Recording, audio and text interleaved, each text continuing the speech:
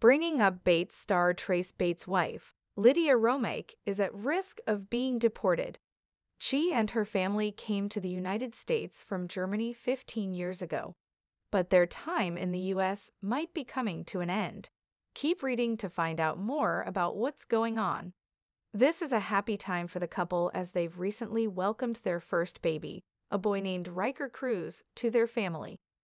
Amid this excitement, they opened up to fans about their concerns about Lydia being deported. In the past, they've briefly mentioned her family coming to the United States from Germany. But now, things are getting more serious. Why is Lydia Romeike at risk of being deported? On Saturday, Trace published a new YouTube video detailing his wife's potential deportation. She and her family came to the U.S. 15 years ago because they were not allowed to homeschool in Germany.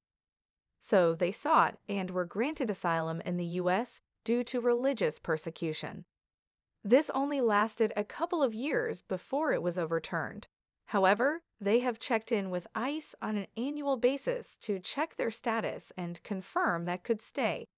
Until this year, it wasn't an issue. Now they are at risk of being deported. This may be because the youngest German national Romeike child celebrates their 18th birthday this year. So their reason for seeking asylum no longer applies. At this point, it's unclear what is going to happen. There is a lot for Lydia Romeike and Trace Bates to navigate. It sounds like it's possible that Lydia will be forced to go back to Germany without her husband and son. Bringing up Bates fans call out Trace Bates' hypocrisy on Reddit, a handful of fans are calling out Trace for being hypocritical. Trace and his family hold conservative political beliefs. So fans think his video about his wife's immigration complications is hypocritical.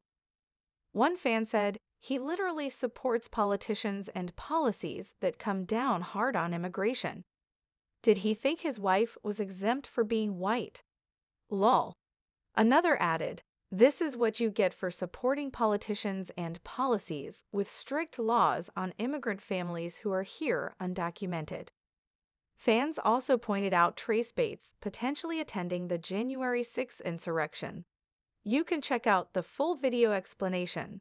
So, does it shock you that Trace Bates' wife, Lydia Romeike, is at risk of being deported? Do you agree with the fans who think that Trace is being hypocritical based on his political stance? Sound off in the comments section below and come back to TV shows Ace for more news about the Bringing Up Bates stars.